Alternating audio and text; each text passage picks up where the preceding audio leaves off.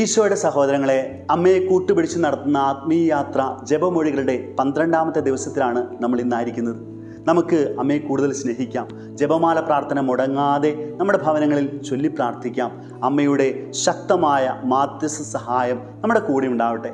വിശ്വസ്തരായ ക്രിസ്തു ശിഷ്യർ നാരകീയ ശക്തികളെ പരാജയപ്പെടുത്തി ദൈവത്തിന് വേണ്ടി തമ്പുരാന് വേണ്ടി ആത്മാക്കളെ നേടുന്ന വലിയ ആയുധമാണ് ജപമാല എന്ന മാക്സിമിലിയൻ ഗോൾബെ പറഞ്ഞു വെക്കുന്നത്.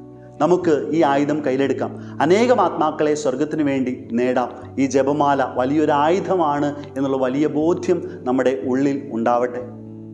സാമുവൽ പ്രവാചന്റെ രണ്ടാമത്തെ പുസ്തകത്തിൽ ദൈവകർത്താവ് ദാവിദിനോട് ഒരു വാഗ്ദാനമുണ്ട്. നിനക്ക് ഞാനൊരു പുത്രനെ തരും. അവന്റെ രാജ്യം എന്നേക്കും സുസ്ഥിരമാകും. ദുഃഖത്തിന്റെ ദിവ്യരഹസ്യങ്ങളിലൂടെ കടന്നു പോകുമ്പോൾ മൂന്നാമത്തെ ദിവ്യരഹസ്യത്തിൽ നമ്മളിങ്ങനെയാണ് കാണുന്നത്. ഈശോയുടെ ശിരസിൽ മുൾമുടി അണിയിക്കുന്ന രംഗം.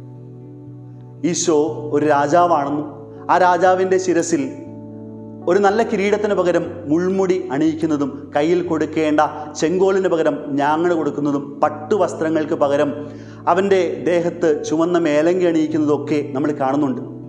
യഥാർത്ഥ രാജാവായ ക്രിസ്തുവിനെ ഈശോയെ ഒരു പരിഹാസ രാജാവാക്കി മാറ്റുന്ന രംഗം.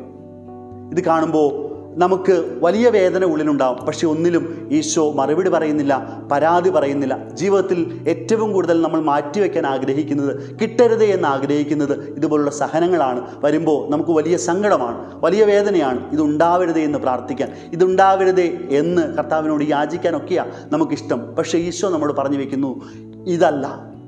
ഈ സഹനത്തിനപ്പുറത്തേക്കും നമുക്ക് വലിയൊരു സന്തോഷമുണ്ട് എന്ന് ഈ സഹനവും നമ്മുടെ ജീവിതത്തിൽ വലിയ രക്ഷയ്ക്ക് കാരണമാകുമെന്ന് ഈ വേദനയും നമ്മുടെ ജീവിതത്തിൽ അനുഗ്രഹങ്ങൾക്ക് കാരണമാകുമെന്ന് ഈശോ നമ്മളെ പറഞ്ഞു പഠിപ്പിച്ചു. മറിയത്തിന്റെ ജീവിതത്തിലൂടെ കടന്നു പോകുമ്പോഴും നമുക്കതാണ് കാണാനായിട്ട് സാധിക്കുന്നത്.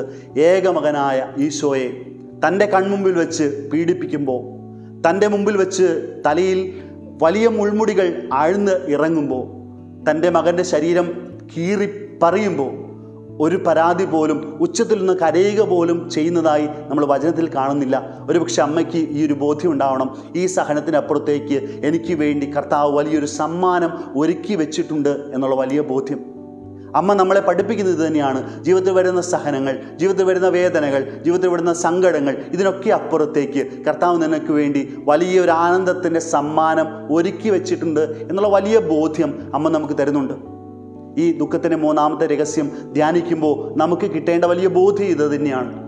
ഈശോയുടെ ശിരസിൽ മുൾമുടി ആഴ്ന്നിറങ്ങിയപ്പോൾ പരാതി പറയാതെ അവിടുന്ന് അതെല്ലാം നിശബ്ദനായി സഹിച്ചു. ഈ സഹനത്തിനപ്പുറത്തേക്ക് വലിയ രക്ഷയുണ്ട് എന്ന് കാണിച്ചു വന്നു മറിയവും തന്റെ മകൻ കൺമുൻപ് വെച്ച് ഇതുപോലെ പീഡിപ്പിക്കപ്പെടുമ്പോൾ ഇതുപോലെ മുൾമുടികൾ ആഴ്ന്നിറങ്ങുമ്പോൾ പരാതികൾ പറയാതെ ഇതിനപ്പുറത്തേക്ക് വലിയ ഒരു രക്ഷയുടെ സമ്മാനം എന്റെ തമ്പുരാൻ എനിക്ക് വേണ്ടി കാത്തുവെച്ചിട്ടുണ്ട് എന്ന വലിയ ബോധ്യത്തിൽ അമ്മ എല്ലാം നിശബ്ദയായി സഹിച്ചു. ഈ അമ്മയോട് ചേർന്ന് നമുക്കും പ്രാർത്ഥിക്കാം. നിന്റെ സഹനത്തിനപ്പുറത്തും രക്ഷയുടെ വലിയ ഒരു സമ്മാനം നിനക്ക് വേണ്ടി തമ്പുരാൻ ഒരുക്കി വെച്ചിട്ടുണ്ട്.